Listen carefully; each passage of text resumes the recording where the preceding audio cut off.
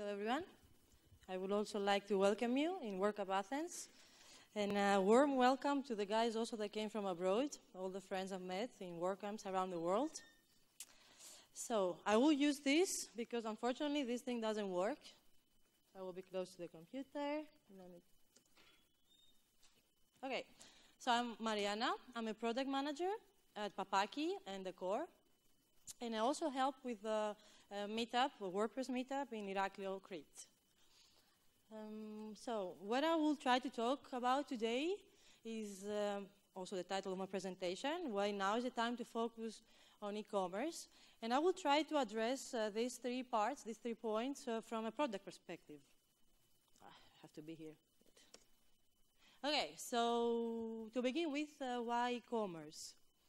Uh, actually, um, from like uh, commerce or uh, um, trading um, has taken place throughout all human recorded history, but from trading grains to actually ordering your favorite food and have it uh, delivered to you by Uber, uh, a lot has changed.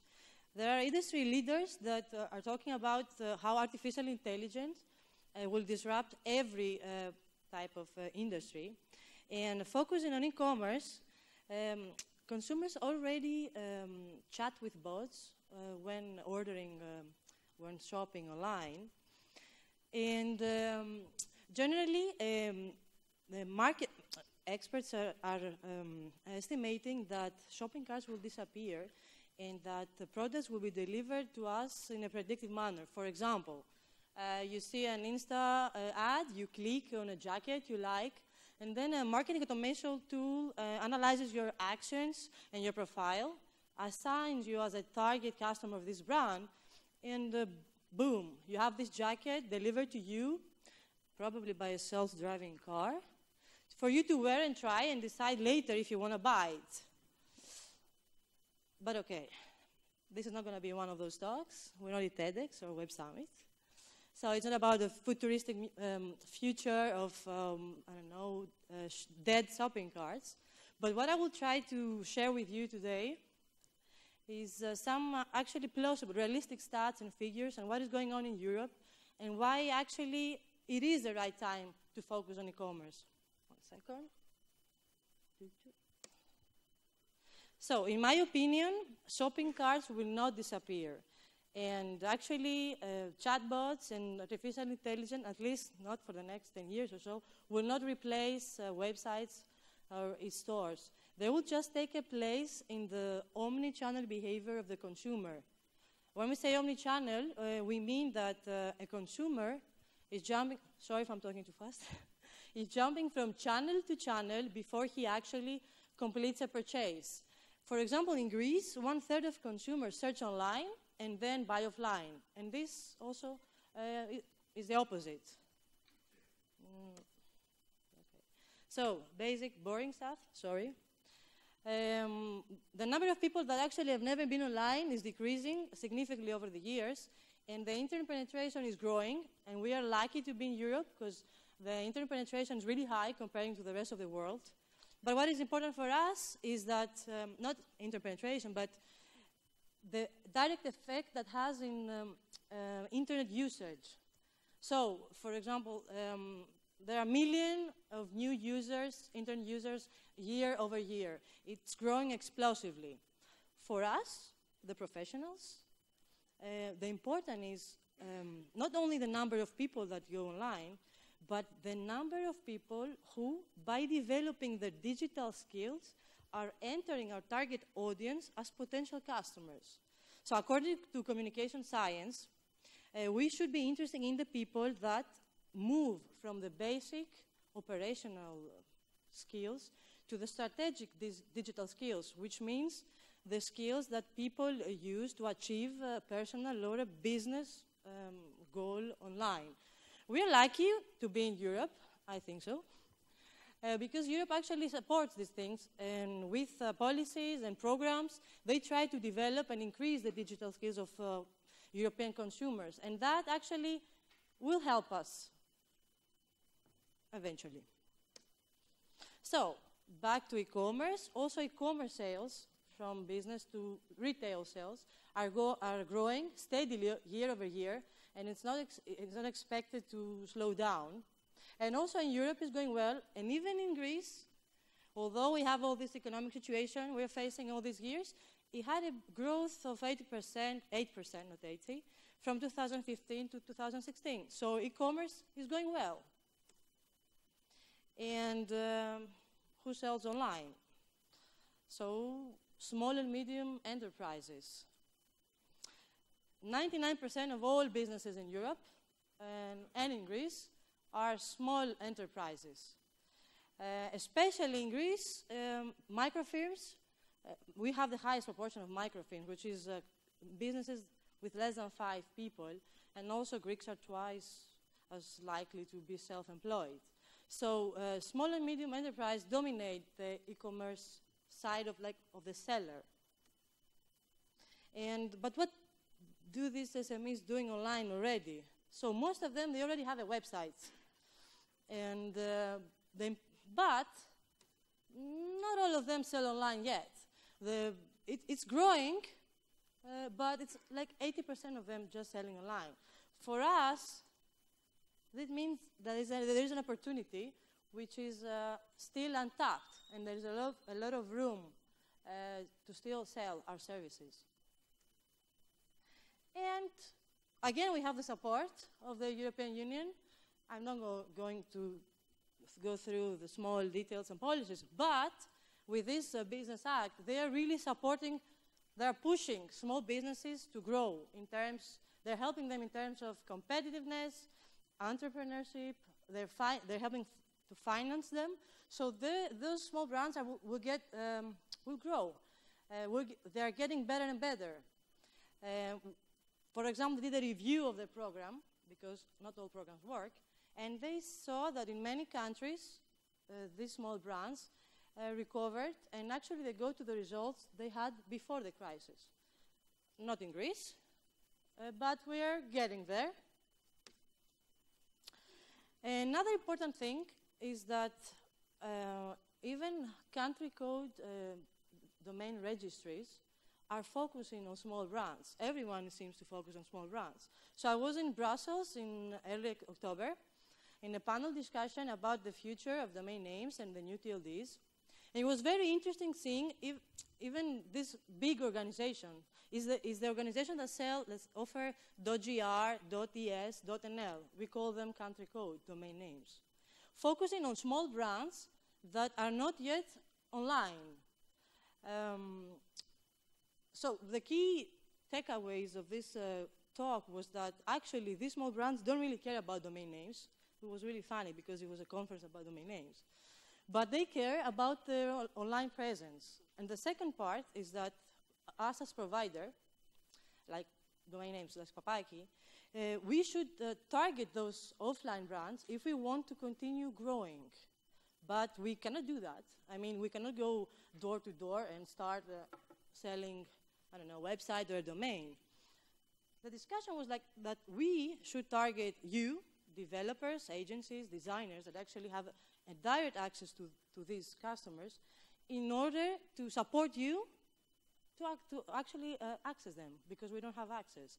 So at the end of the day, the result was that, okay, this big organization will try to craft, uh, co-marketing agreements. I don't know if is everyone familiar with that.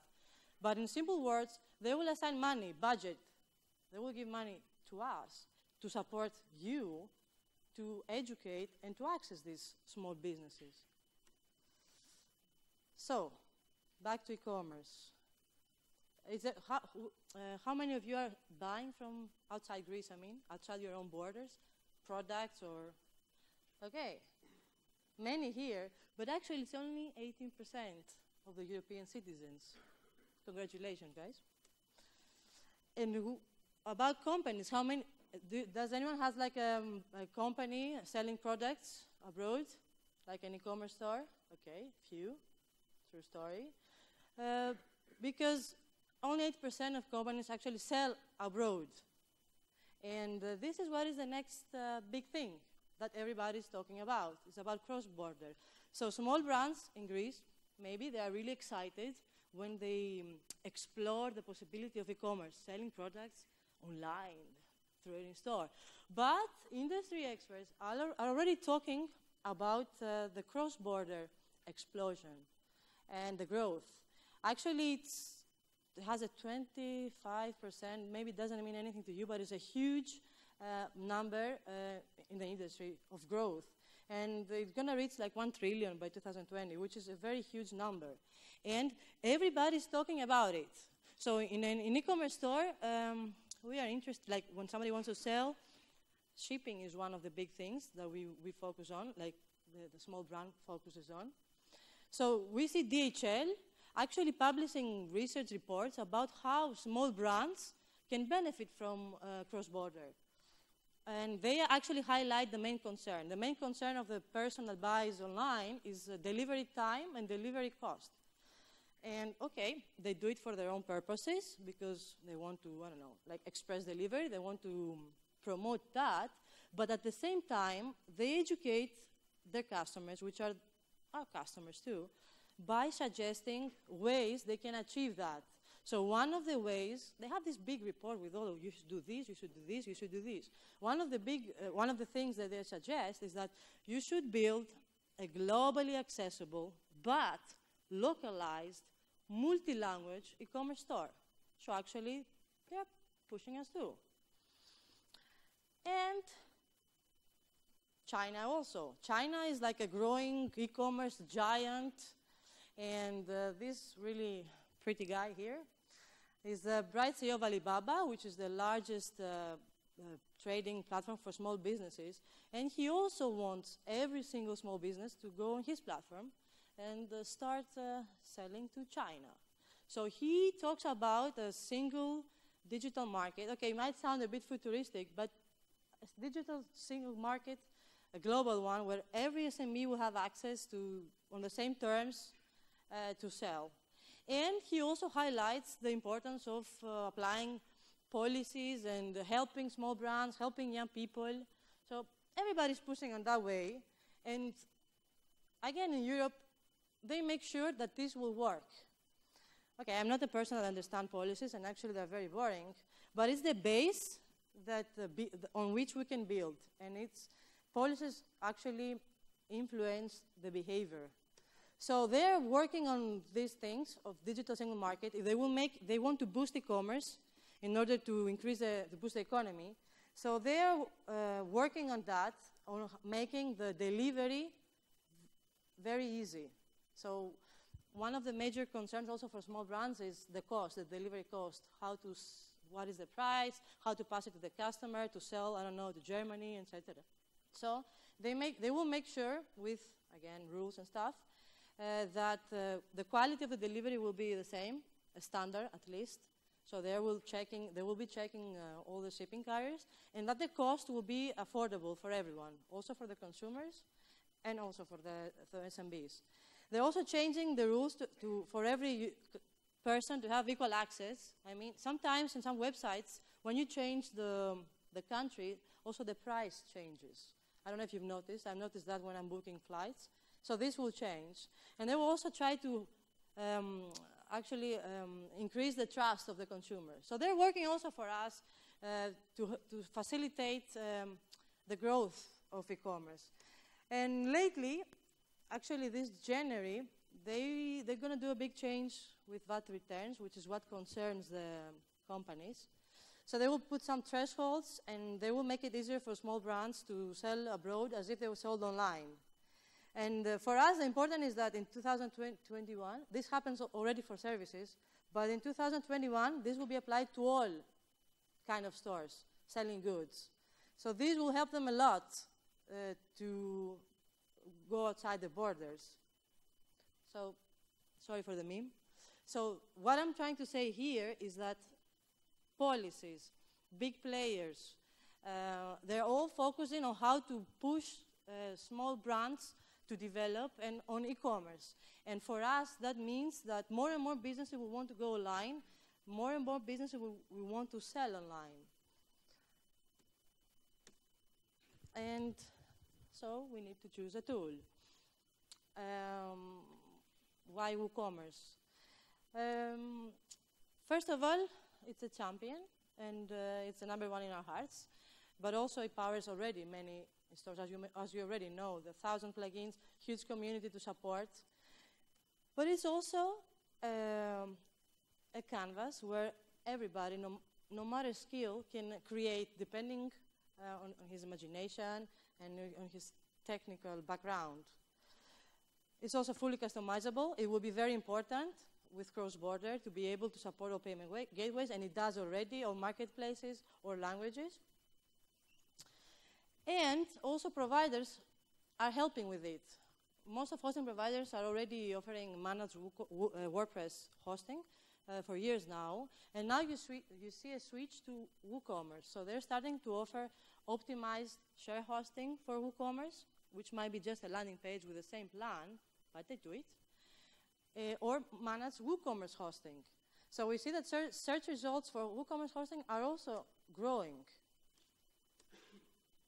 And as a provider, uh, we, and all providers that, that actually started selling managed WooCommerce hosting, they educate the customers. Customers are much more educated nowadays. And what I mean is that all these uh, drag and drop uh, website builder solutions or the free hosting um, uh, plans, limited free hosting we've been offering all these years, actually have, um, hel have helped in education, in, on the education of customers on e-commerce requirements. So they're starting to understand that an e-commerce is not just a website. And uh, for me, WooCommerce is um, is, is much more than a tool uh, because it allows to anyone, no matter if he's a super tech developer or just a guy with some time and some basic skills, to build a website for third party. And uh, actually, this, is, this person is not your competitor, and the customer he gets is not your customer. Uh, Papaki always hears stories about how people uh, struggling, especially in Greece, struggling with life and problems, and they find, they found a way out in WooCommerce, actually a source of income. And uh, what I believe is with open source, with WooCommerce, there is room for everyone, and there is a type of customer for everyone. Yeah. So, uh, at Papaki, we had, uh, we used to offer um, website building solution that was quite bad closed source, of course, very limited. And a year ago, we, we were forced to transfer them to a new platform, so we chose uh, WooCommerce. 150 customers or 200, transferring them to WooCommerce in 40 days. It was a great challenge with no sleep, and it was also Christmas. It was, it was interesting. So we went through many procedures, many problems. We solved them, we moved on. At the end of the day, we managed to transfer all these customers to a platform that wouldn't limit them. So then we asked them, how is it going? how is it working for you? And um, okay, they were, most of them, they were happy for the options. But all of them, when we asked them, what is the number one service you want uh, with your WooCommerce store now that is online, they said, we want developers. We want developer hours because we don't offer that. Uh, I want this thing. I want this customization. How can I do that? Okay, our support was not ready for that. We are not developers. We are offering technical support. But the important thing is that the moment the shop is online, and that's what we took care of. It was just there, working, perfect. We also implemented plugins for them to be able to receive payments. The moment it's online, then the journey starts. So they need development. So, we come to the part of WooCommerce maintenance. What we see is that as a providers, because sometimes as providers, when we offer solutions that are automated and stuff, uh, we are seen as competitors, but actually it's the opposite. Uh, no matter how easy we make it for the end customer to build a WooCommerce store, uh, pre-installed themes, pre-installed plugins, uh, settings, everything, demo content, demo products, everything. One click and you have your store there. No matter how easy we make it for them, they will always need uh, some kind of a, a, developer actually. Because A, they only have time to run the business. We're talking about small businesses. This is, a, this is the fact in Greece and in Europe. So they will hardly have, hardly have ever time to do something else. And B, they will never have the knowledge because they're always busy with their store. So I, I wanted to share that with you, this information. So I'm moving too fast. I still have 9 minutes and 45, and everybody's still awake. Yes. So, where to focus next? Always from a product perspective, okay? So, we've been talking a lot, I've been talking a lot with all these beautiful customers we transfer to WooCommerce, also with freelancers and friend developers, about their struggles. And one of the big struggles is that is the, actually the um, collaboration and the communication with the customer on a project. So freelancers like you, developers, many times need to wear the project man management hat, which is a totally different role of, from what you really want to do. Yes. So uh, our suggestion is that you should choose your tools early. Many of you are professionals already. You have everything set. But there are many also that are starting now, like a web designer girl I met before uh, in front of a booth. So to save time, you, need, you really need to have your tools ready from the beginning. And that means uh, like a tool to manage your work, which is for us is Trello, and uh, a ticketing system from the first day, from day one. Why not? Not email. There are plans out, uh, like available for, I don't know, $8 per month which is not uh, at all expensive. And you have to be brave. As we said before, there are different customers. Uh, the, normally, um, the lower educated, technically customer would go to a cousin of a cousin, a friend of a cousin of Maria, and I don't know, my uncle from the village, and will say, I want a website, and can you build it for me? So then he will fail, apparently, and then he will start to look for some a little bit like better and then he will, maybe he builds a WooCommerce store, and it's gonna bring some money, and then, okay, now I need a more experienced guy because I want to sell to, I don't know, Germany. And then, okay, I need my marketing, so then I go to the agency. So this is a, a like a, a line, a education path, educational path of the, of the consumer. So you have to be brave uh, from the beginning, no matter how much you need the money or so, and rule out all the problematic customers for you, because not everyone is your customer. And finally, um, providers are becoming very intelligent nowadays, so you can actually use tools. You don't have to do everything by yourself, although we trust you that you can do everything, sysadmin, development, marketing. Uh, you can take advantage of some tools uh, that providers offer, so you can save time and focus more on the, on the things you, you love doing, okay? So, there are several things that nowadays are pretty automatic and quite smart. So for example, uh, you can take advantage of the WooCommerce updates. Providers are not, are becoming, yeah, smarter, as I said in that. So uh, they use testing. They just, they don't just uh, push uh, updates of plugins like that, and then boom, something breaks on your site and you run, and your customer calls you. No, they use visual and, uh, or some of them, visual and functional testing. So they are able to inform you well ahead uh, about some plugin that is going to break the website. They even use human testing. So, for example, they even check what is going on in the market after a plugin has been, a new plugin release is, uh, is live. So you can get the information that something will not work early in your email. Another new, kind of new tool that is uh, popular, becoming popular, is automated testing. We do that too, actually.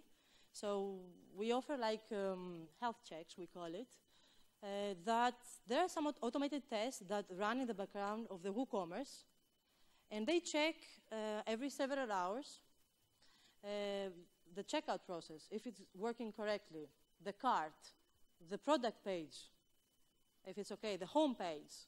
So it checks several things, and if something is going wrong, then it sends you an email and says, okay, look, there's something wrong here, you should uh, check it. And that's much better than um, a customer, your customer realizing that something is going wrong, or realizing from customers that something went wrong after an update. And finally, uh, you can choose uh, uh, some, some provide, whatever. You can choose um, optimized hosting for e-commerce or WooCommerce because probably they will, they, they will have some uh, server level cache, some customization that can support e-commerce uh, stores better. Uh, they will have more experience. They will have failed multiple times, disappointing customers, and they will, will have learned from that. And they can support e-stores uh, in peak times like uh, Black Friday and situation like that. And finally, a little bit of product thinking uh, is that um, we need to innovate in pricing, in the way we price. Not only you, but also us. So for you, maybe freelancers, the important is uh, to price your hour because what, that's what is important for you. Uh, the time, the amount of the time you spend on a project. But is that the important thing also for the customer? I don't think so. I think we, we you should start basing your pricing strategy on a value metric. So a value metric is actually uh, something that brings value to your customer. So you base your pricing, pricing strategy on something that grows with your customer. Uh, that's e it's easy to understand. And um, that uh, actually makes you, um, not makes you, but puts you in a position to rethink yourself as a service provider. So, uh, for example, uh, as service providers, we, we offer more than one offering. You can take advantage of the tools we talked before and make tires, like offer tires. Uh, you should have the recurring revenue in your mind uh, to keep the customer because this is how service providers work, subscription based. Uh, you should go for maintenance uh, offerings from the first minute. I know some people already do it, and you are really good at that, but there are some people that are new. So for me, uh, reinventing the way you price your customers can um, offer you mo much more in the long term. Okay, so to sum up, time is running out. Smiley.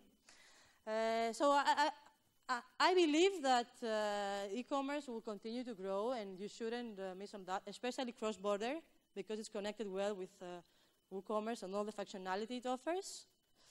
And uh, I think you should, I believe you should uh, uh, use the automated tools, actually, on your favor and put the price tag on the customer. And innovation is here. the present feature offered by providers, I believe, are only the beginning of the innovation we're about to, to experience in WooCommerce building, hosting, and maintenance.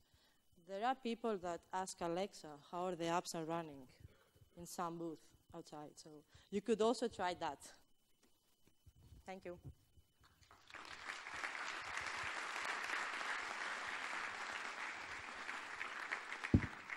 Sorry if I was talking too fast. It's my first time.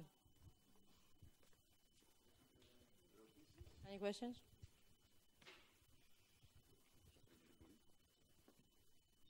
I didn't put a friend to ask me something I already knew.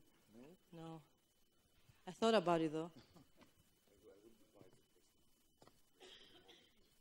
Do we know the current uh, number of uh, WooCommerce usage around the world? Usage, uh, do we do we know? Well, actually, it's uh, yeah, 42% of all e-commerce stores yeah, on the entire internet, which is growing all the time. It's a big percentage. Thank you for the question, Takis. You're so nice. Okay, thank you, guys. no, no, 42% is globally on the entire. But it's also good for uh, the, the percentage of the WooCommerce usage in Greece is high too. Uh, no, I don't remember. But I can search it. I will be outside. About safety on WooCommerce, about um, security.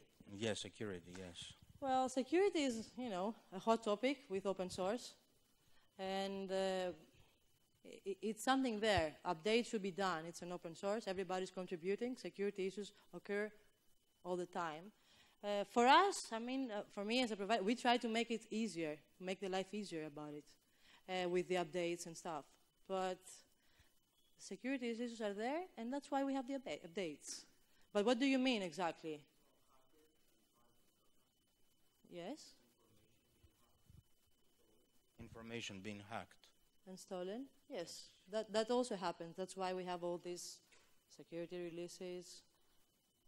And some- updates. do you need an add-on, something extra? For security? Yes. There are plugins you can use, or well, the security is. I mean, it's in different parts. It can be on a server level, like your server should be secure, and then it's on a, on the WooCommerce level, on the WordPress level. Uh, you should have your updates on time, and maybe there is some plugin, Strange, that has a hole. I don't know. So in open sources like that, security has many aspects. Because there is new laws, very strict coming. Yeah, the GDPR, you mean? Yes, correct, yes. Okay, yeah, the GDPR, that's true. Uh, they're coming next May, and this is a hot topic. Everybody discuss about it. In terms of, for example, as a provider, because every company needs to handle that in a different way. For us, we hired some experts that are working on it, and we will make sure, for example, that all the data of our customers are secured in the European Union and stuff. But do you have a specific question or something? Like, No, no, it's just general. I'm just trying to build something. yeah, yeah, yeah. Okay, so mm-hmm. thank you, Thank you very much. thank you for trying to build something. In case anybody missed it, we do have talks about GDPR later on, right? We have talks about GDPR later on, on in track B from from s- special specialists from lawyers. Are you the entrepreneur? Speak the truth. okay. Never cease to search. We have a question. Yeah. there. Uh, was it challenging to manage all the pool of customers com- coming from the Scrooge store when it was closed? That was a painful story. And it was Christmas. Again, And yes, it was very challenging. Everybody was working on that. But the, the- it was uh, difficult because, you know, the Scrooge store was a closed, uh, it, was, it, was, it was a closed pl- platform. We had to um, uh, build scripts to be able to take the data from there and then to manipulate, change them. The developer is somewhere here that did it. And then upload them to WooCommerce. And then the images were different because the sizes were different there and the, the framework is different on WooCommerce. And the payment gateways, we implemented plugins to uh, assist and uh, the connection with the Scrooge store. It was long. Let's say yes. It was. It was. It was. It was difficult. It was a challenge in the beginning. Okay. the, the, the developer who wrote the script is invited as a speaker anytime. Yes. Okay. Yorgos, where are you? Thank you for that time. so yes, it's true. It was difficult, but uh, and challenging. But um, in the beginning, you know, you're not resistant to change. You know, they got crazy. They were like, okay, it was bad. It was in liquid language, and I couldn't even change a color, but it was working, and it was fast, and it was. Da, da, da. And then after three months, four months, they were like, oh, I like that I can change that. Ooh, I can do that. Wow! With one plugins, I can put coupons and stuff. So it's also education, you know? So they needed their time, and then they got excited. And then I was having calls, because I was talking directly with some of them, I was having calls, hey, Marianna, you know, this is so cool, and I did that, and I did that, and I did that, and I did that. And now, after one year, and that's why I say WooCommerce has future. After one year, they're like, okay, Marianna, I need a developer. I was like, okay, hmm, okay, yes, can you suggest someone, blah, blah, blah. So th- I thought that was the important part because we have direct access as providers to end customers that don't know much, but we guide the decisions by offering them managed WooCommerce hosting. And then they become more educated, and that also helps the community and the developers and the agencies and stuff. They're not ready to go to a, a super tech uh, um, developer or agency from the beginning. They want to go through the painful process of learning. So it works for everybody at the end of the day. Sorry, I'm talking too much. No, no, we like it. Other Do, questions? do you have? Ah. Yeah. Let's get the mic. Please don't be a technical one. Please don't be a technical.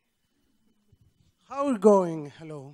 How are we going to convince me. uh, to convince someone to change to WooCommerce from uh, another platform How long? or to build in uh, WooCommerce?